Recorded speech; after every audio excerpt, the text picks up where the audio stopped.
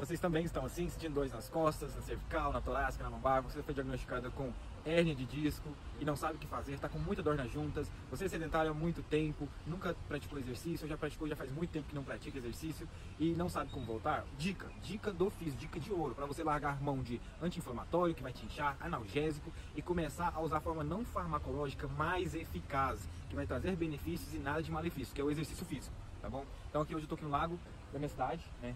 Então aqui hoje já subi né, no Cristo, que tem uma escadaria muito grande, já fiz uma série de abdominais, uma série de flexões de braço, uma série de agachamentos também. Isso coisa básica que a gente consegue fazer aqui no ar livre, né? coisa bem simples, fazer uma caminhada, uma corridinha também. Comece a colocar prática de exercício no seu dia a dia. O sedentarismo está a prejudicar milhões de pessoas no mundo. A falta de exercício físico pode piorar sua saúde de vários modos diferentes, vai causar um malefício futuro. Você agora tem que preocupar sempre no agora e também daqui a 5, 10, 15, 20 anos. Como você quer estar daqui esses anos?